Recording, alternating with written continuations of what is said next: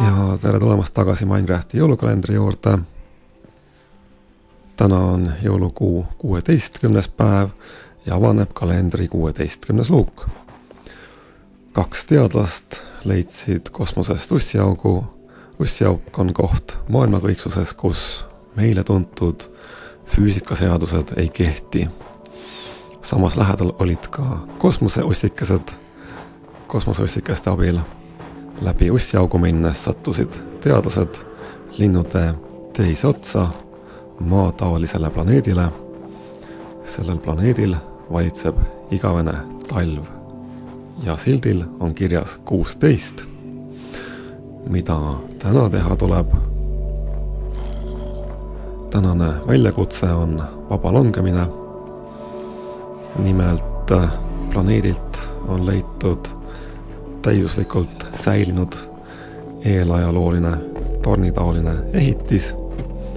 torni algne otstarve on aegade hämaruse varjus.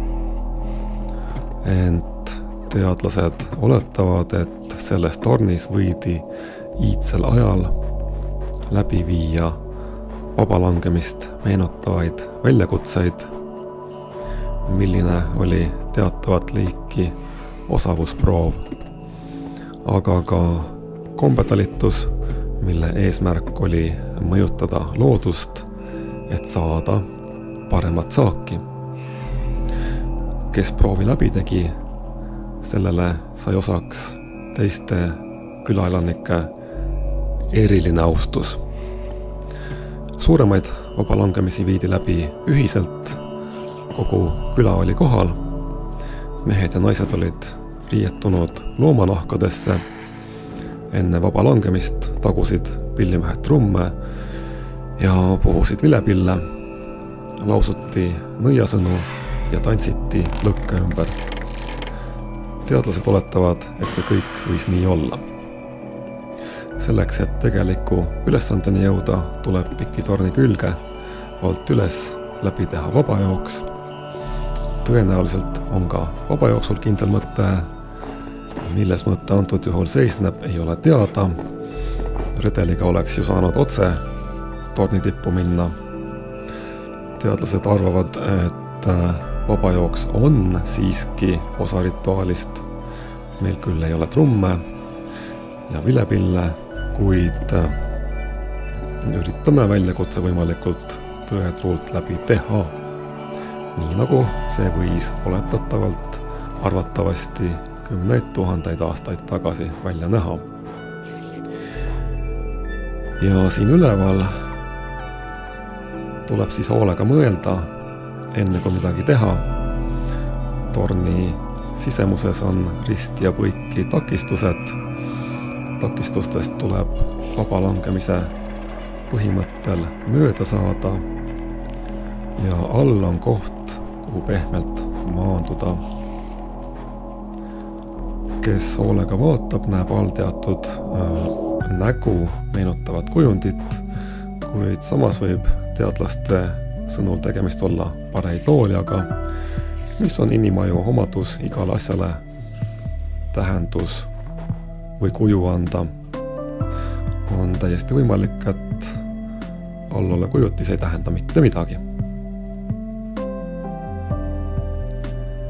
väljakutses osalejal endal tuleb leida kõige sobivam rada. ülesanne, mis tundub lihtne, kuid tegelikult tuleb siin mitu käiku ette mõelda.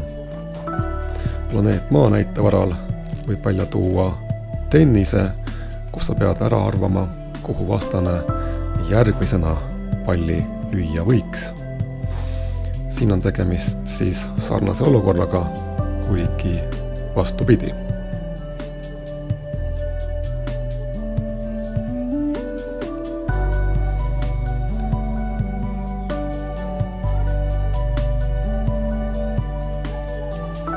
ja teras tegi ära. vaatame, kuidas susipealikul läheb. no susipealik valis raskema tee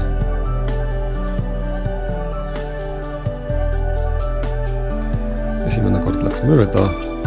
Õnneks on siin jätkukohad, mis tähendab, et vabalangeja naaseb algusesse ja saab uue võimaluse. ja teisel katsel õnnestus ka susipealikul kõik, tegime ära. nii et nii võis see ka kümneid tuhandeid aastaid tagasi välja näha. oleme taas ühe talveplaneedi saladuse lahendanud omaette teema on see, kuidas siit välja pääseb. ka siin on kasutatud väga huvitavat lahendust. kas ka seda planeeti on külastanud maavälised tsivilisatsioonid? ja siin on aardekirst, kosmoseustikesed on meile valmis pannud autasu väljakutse eduka sooritamise eest. lumehelbe rinnakaart, milline kuulub selle planeedi kõige vägevama soomusvarustuse hulka. enne tuleb äh, äh, loomulikult teha zombidele tuupi.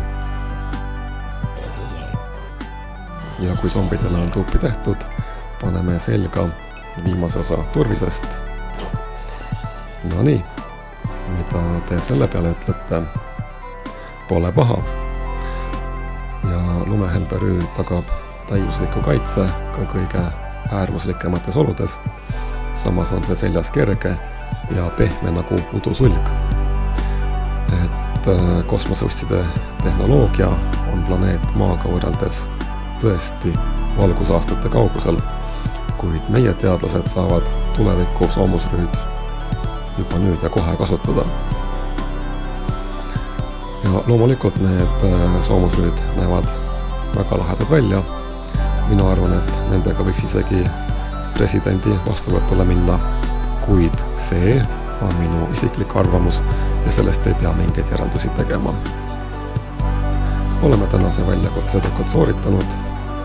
muinasvaase kvantkurk on selle märgiks maha sepatud. anname teile nüüd veel võimaluse oma rüükomplekti imetleda. muuseas, ka mõõk kuulub selle juurde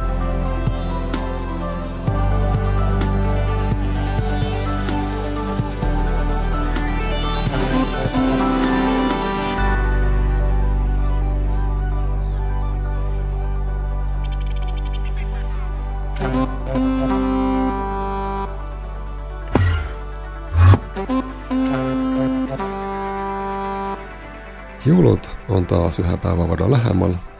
aitäh kõigile, kes kaasa elasid. homme avaneb kalendri uus luuk. ja ei muud kui nägemiseni